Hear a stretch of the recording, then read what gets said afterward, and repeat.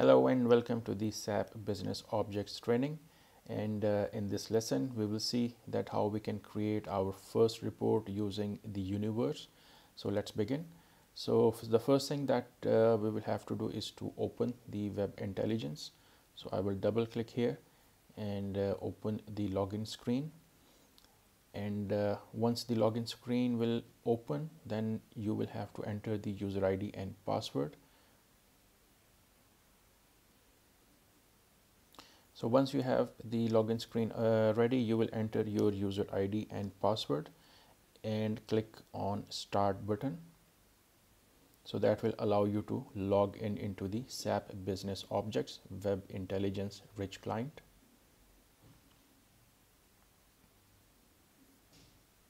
So once you have successfully logged in and uh, so in this lesson we will see that how you can create a new document and a new report as well. So in order to do that, you will have to click here on the new button. And the first thing that you will have to do is to select the source of data for your report and you will have here a screen that will allow you to select a data source. So in this lesson, we will be using the universe as the data source. So from the left side, you will have to select the SAP BI platform repository. And once you do that on the right side, you will select the universe and then you will click OK.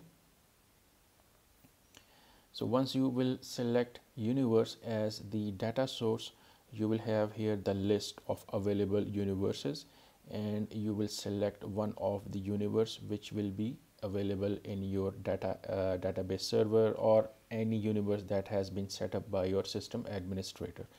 So on my system i will select one of the universe and click ok. And uh, once i do that the system will take me inside the selected universe. So this basically is the query panel. And uh, this is the window where I will decide that which objects or which variables I want to display on my report. So this is the selected universe and then on my system for this universe there are two different tables. So one is the article lookup and the other one is the shop facts. So if I open one of the table, so these are the different objects or variables and then on the second table these are the different objects or variables so for example from the first table I want to display the first four variables on the report as columns. So what we will have to do is to select the variable that we want to display in the report and we need to shift that onto the result objects window. All right. So I will select the article ID and I will click on the arrow. So the article ID is now in the result objects window. Then I want to add the article label and I will do the same.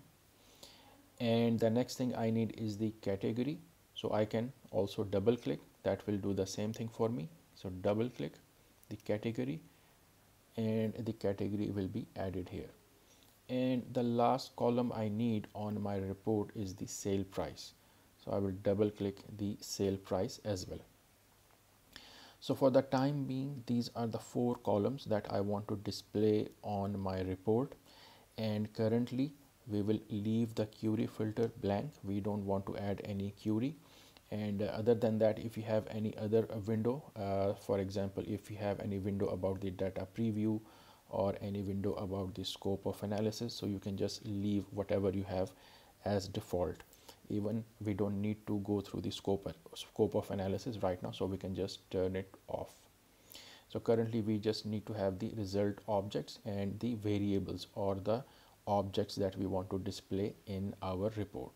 So once you have designed your query in the query panel you will then click run and system will extract the data from the database and will add a report for you and within that report the system will add one uh, table. And within that table the system is displaying here the four columns. So these are the objects or the variables that we had selected in the query panel. So that is the first report that you have just created. And uh, again just four columns. And uh, the, uh, the system has automatically created or added a new report. So remember uh, from the home screen we clicked on creating a new document. So at the top we have here this new document one and within this new document one we have report number one which means that in a single document you can have multiple reports. You can have report one two three and so on. So we will see in the coming lessons that how to add multiple reports in the same document. So this is the first lesson where we have seen that how to create a report using the universe as the database. And then in the next videos we will see that how to update the, the existing query or how to update the existing reports. So that is the end of the first lesson